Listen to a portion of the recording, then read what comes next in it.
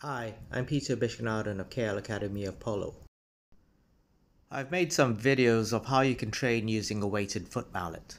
I'll show you how to convert your foot mallet into a weighted foot mallet using a light hand or ankle weight. Then I'll have a series of videos of exercises you can do at home or in lockdown or during your off season to help you build strength and fitness in the right muscles for polo. To watch these videos, please like and subscribe to my channel.